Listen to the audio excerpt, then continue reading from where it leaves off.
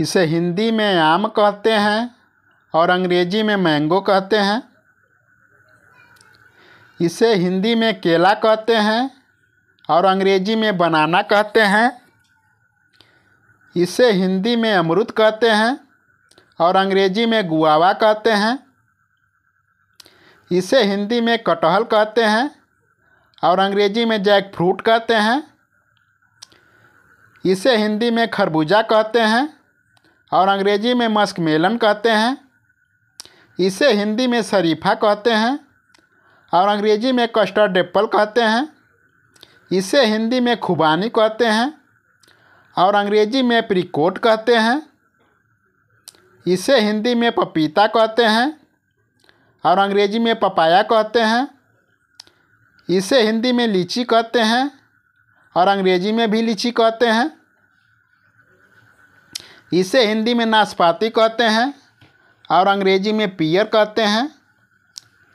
इसे हिंदी में तरबूजा कहते हैं और अंग्रेज़ी में वाटरमेलन कहते हैं।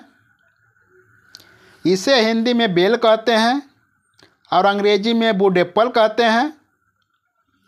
इसे हिंदी में अनार कहते हैं और अंग्रेज़ी में पोमीग्रेनेट कहते हैं। इसे हिंदी में चीकू कहते हैं और अंग्रेज़ी में सपोटा कहते हैं। इसे हिंदी में अनानस कहते हैं और अंग्रेज़ी में पाइनएप्पल कहते हैं। इसे हिंदी में करमल कहते हैं और अंग्रेज़ी में स्टार फ्रूट कहते हैं। इसे हिंदी में मौसमी कहते हैं और अंग्रेज़ी में स्वीट लाइम कहते हैं। इसे हिंदी में इमली कहते हैं और अंग्रेज़ी में टमरिंड कहते हैं। इसे हिंदी में सहतूत कहते हैं और अंग्रेज़ी में मलबेरी कहते हैं।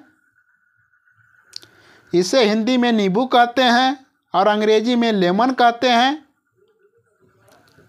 इसे हिंदी में अंगूर कहते हैं और अंग्रेज़ी में ग्रेप्स कहते हैं। इसे हिंदी में आंवला कहते हैं और अंग्रेज़ी में घुसबेरी कहते हैं। इसे हिंदी में अंजीर कहते हैं, अंग्रेज़ी में फीक कहते हैं।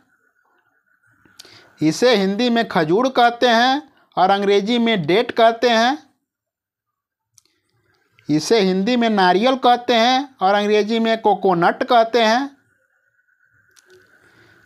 इसे हिंदी में जामुन कहते हैं और अंग्रेज़ी में ब्लैकबेरी कहते हैं। इसे हिंदी में सेब कहते हैं और अंग्रेज़ी में एप्पल कहते हैं।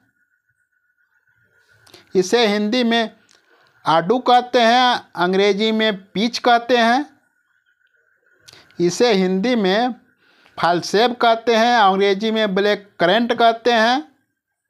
इसे हिंदी में कीवी कहते हैं और अंग्रेज़ी में भी कीवी कहते हैं।